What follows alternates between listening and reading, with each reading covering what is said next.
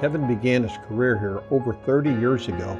Uh, he's been a patrol deputy, he's been a detective, he's been assigned to the Drug Task Force, been a lieutenant, chief of uh, the Civil Division, which includes administration, and the chief of the uh, Major Crimes Unit.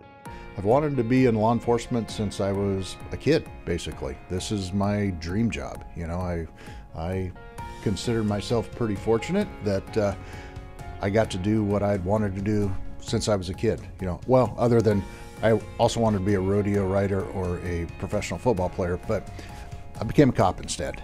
I spent, you know, five years in the Coast Guard, you know, learning maritime law enforcement in the those formative years between like 19 and 21 before I could apply and uh, got to experience that aspect of it. And that's actually what led me to the job here with Whatcom County Sheriff's Office. Kevin has been responsible for leading detectives in solving some of the major crimes here, the homicides, the cold case squad.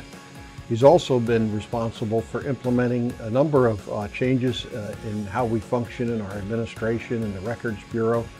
So he has been just a, a godsend uh, to everyone here at the Sheriff's Office. I've spent, you know, a third of my career uh, or more actually uh, involved in narcotic law enforcement, both as a detective, as the sergeant in charge of the drug task force, and then as the lieutenant or chief as the commander of the task force. So, you know, a good 20 years has been involved in narcotics law enforcement.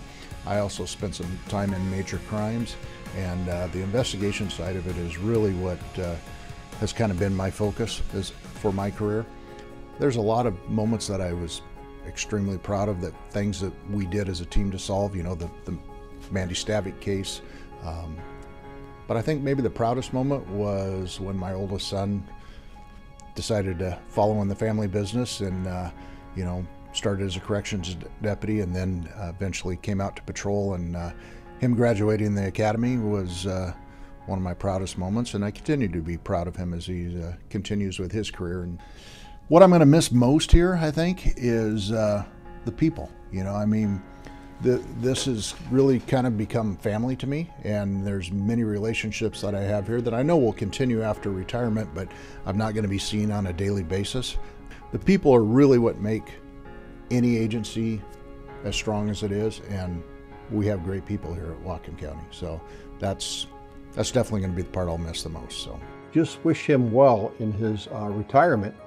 But he's really not retiring. He's going on to be the mayor of the city of Nooksack, and we wish him uh, well out there as well.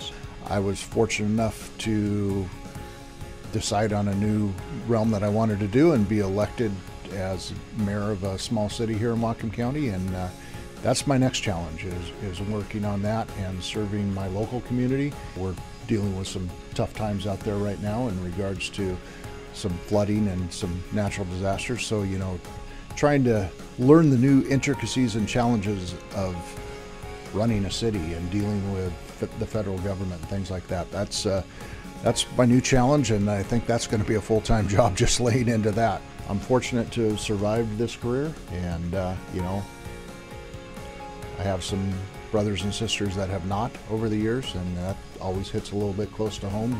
And uh, I want to thank, uh, I guess, my family too for putting up with me throughout the years. It's not easy being uh, married or the offspring of a law enforcement officer.